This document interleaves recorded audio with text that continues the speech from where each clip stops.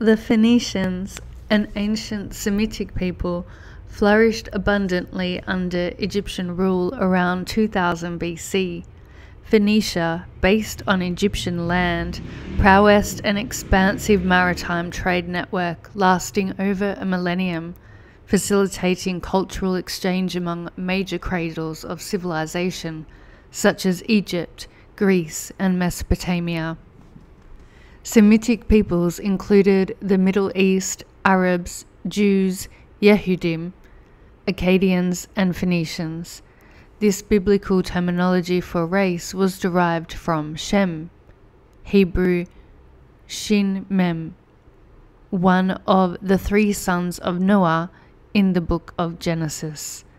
After the great flood, Shem, from Hashem, the name, Japheth and Chem, Egypt, survived to repopulate the earth. Japheth was the progenitor of the European peoples Chem, the progenitor of the African peoples, and Shem was the progenitor of the Semites, a title formerly given to West Asian peoples. The word Shem, meaning first, already existed in ancient Egyptian Medu Neteru for phrases such as the Shemsu or first successors of dawn light, the Shemsu, followers of Horus, and Shem Sekhem in the name of Egypt, first power. Though not the first of all, as there were pre Adamite peoples, Shem and the Semitic peoples were perhaps the first of the god Hashem, Yehu. Nevertheless, the Phoenicians directly succeeded the Bronze Age Canaanites, who also flourished on Egyptian land, Canaan, Amu. King Hiram of Tyre provided the biblical King Solomon with Phoenician, Egyptian cedar and fir, artisans and stonemasons for the construction of his temple in Jerusalem, according to the first book of Kings and 2 Chronicles 13 to 14. The art of glass making learned from the Egyptians was further developed by the Phoenicians also weaving linen from Egypt and silk from Persia. The Phoenician seafarers became fantastically wealthy, prospering from Egyptian lordship.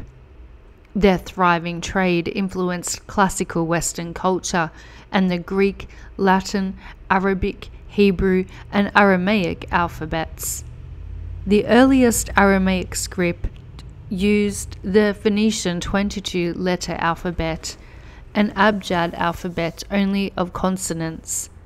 Vowels were inferred, and it was the first alphabet written only right to left, a direct development of the Proto Canaanite script, itself a derivation of Egyptian hieroglyphs.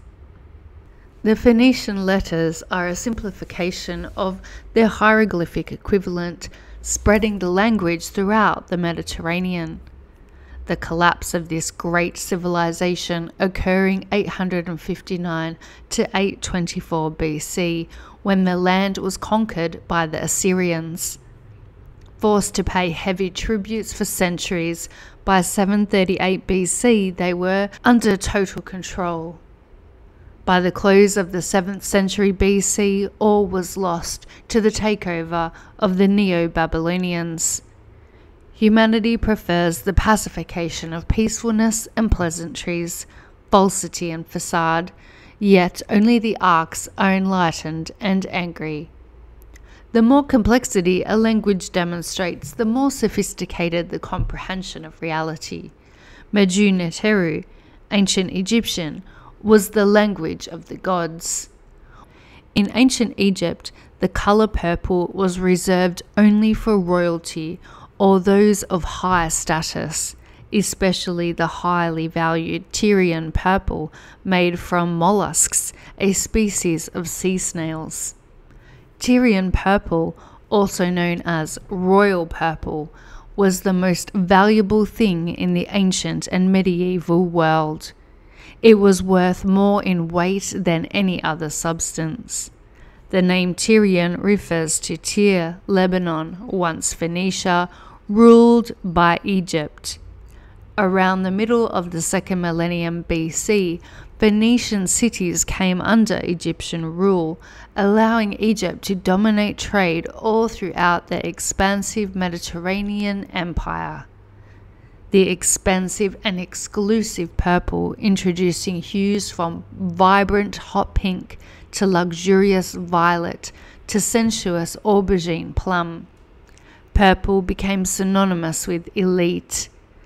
Early Egyptian artwork used only four main colors red, desher for males, yellow, kennet for females, blue, urtu for protection, and green, waj for resurrection.